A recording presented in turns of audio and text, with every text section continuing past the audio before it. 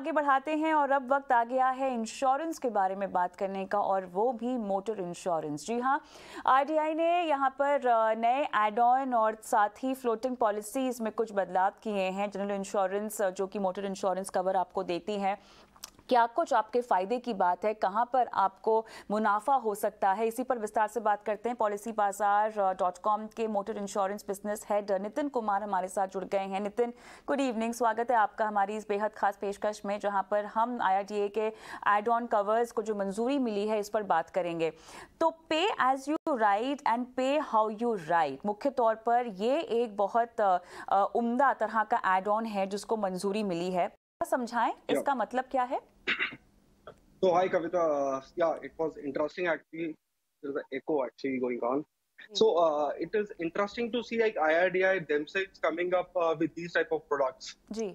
So what was happening almost a year back there were insurance companies who had this similar kind of product in the sandbox okay so if we talk about the very first product which is the pay as you use mm-hmm. product, in the pay as you use product is basically it depends on आप कितना drive करते हो अच्छा. उसके basis पर you can define your premium अच्छा। तो यथ से आप अपनी गाड़ी रोज के 10-15 किलोमीटर चाहते हो। हम्म।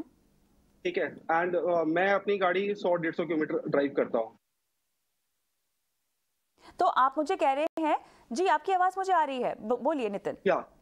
हाँ so for example right now अभी अभी क्या होता है? आप और और मेरी की गाड़ी है। हाँ. हम एक ही शहर में रहते हैं और हम सेम प्रीमियम पे करते हैं। हाँ. हाँ. बट अगर आप अपनी गाड़ी को कम इस्तेमाल करते हैं और मैं अपनी गाड़ी का ज़्यादा इस्तेमाल करता हूँ तो मेरे केम आने की या फिर एक्सीडेंट होने की जो प्रोबेबिलिटी होती है वो हायर होती है। तो अभी क्या होगा? With this pay as you use type of a product आपका जो प्रीमियम होगा क्योंकि आप अपनी गाड़ी का कम इस्तेमाल करते हैं तो आपका प्रीमियम कम हो जाएगा। और मैं क्योंकि अपनी गाड़ी का इस्तेमाल ज़्यादा करता हूँ तो मेरा प्रीमियम बढ़ जाएगा। ओके okay, तो आप मुझे कह रहे हैं कि पहले ये स्टैंडर्ड कवर के तौर पर उपलब्ध थे अब इनको एड ऑन कवर्स के तौर पर मंजूरी मिली है? नहीं पहले ये सैंडबॉक्स में थे।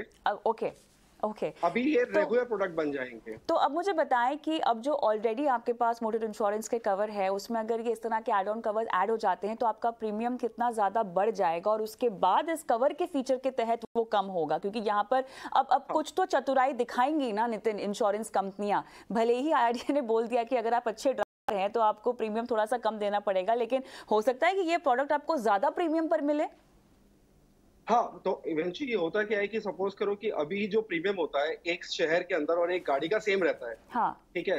अगर अब आपको पता है कि आप बहुत अच्छे ड्राइवर हैं तो आपको ये हमेशा ये रहता है कि मैं इतना ज़्यादा प्रीमियम क्यों पे करती हूँ? हाँ।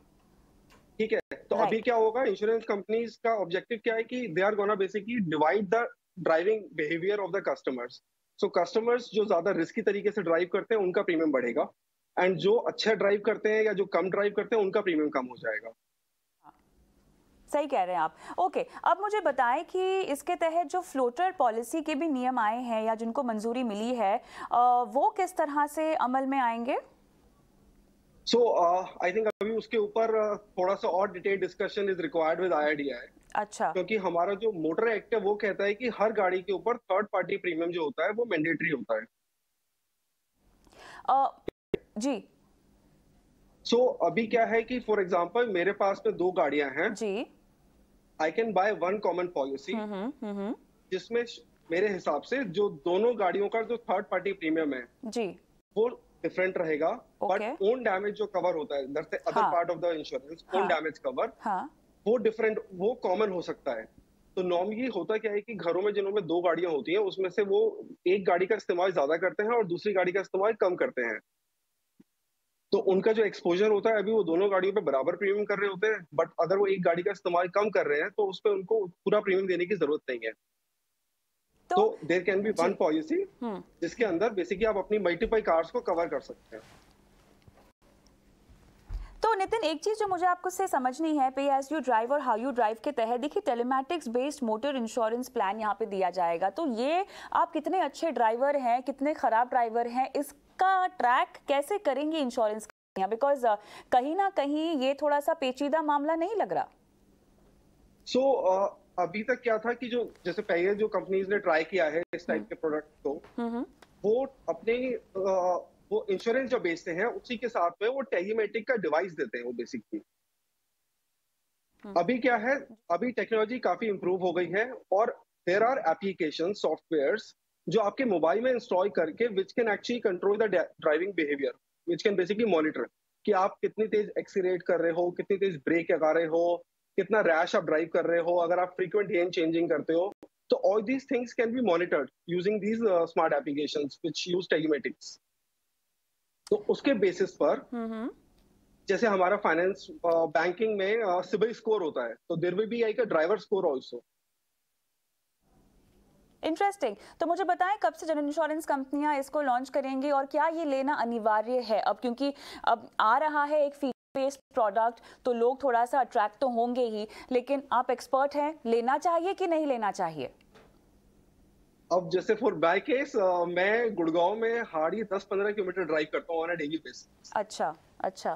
तो I would definitely have to go for this अच्छा तो किन किन बातों को ध्यान में रखना चाहिए लेने से पहले फिर क्या ए, ए, एक जनरल गाइडलाइन या थम रूल अगर आप दर्शकों को रेकमेंड करना चाहें तो फिर वो क्या होगा? सो आई वुड रिकमेंड जिन जिनके पास अगर मोर देन वन कार है और उनकी दूसरी गाड़ी का इस्तेमाल अगर कम होता है they should definitely go for this people who work more mostly work from home उनको भी लेना चाहिए कवर इंटरेस्टिंग नितिन बहुत बहुत धन्यवाद। आपने समय निकाला और इतने इस मुद्दे पर तमाम दर्शकों को गाइड किया, जानकारी दी। बहुत बहुत धन्यवाद आपका। हम रुकेंगे छोटे से ब्रेक के लिए। ब्रेक के बाद हमारे साथ जुड़ेंगे हर्षवर्धन रुंगटा, जो शुरू करेंगे आपकी फाइनेंशियल प्लानिंग लेकिन मैं ब्रेक पर जाऊँ। उससे पहले एक व्हाट्सएप नंबर आपकी स्क्रीन पर हम फ्लैश कर देते हैं, जहाँ investment insurance credit card loan कोई भी सवाल हो आपका, आपकी फाइनेंशियल प्लानिंग को लेकर वो सवाल आप हम तक पहुँचा सकते हैं। Nine six one nine eight seven three five six seven, ये वो नंबर है जहाँ पर हमें आपके सवालों का इंतज़ार रहता है।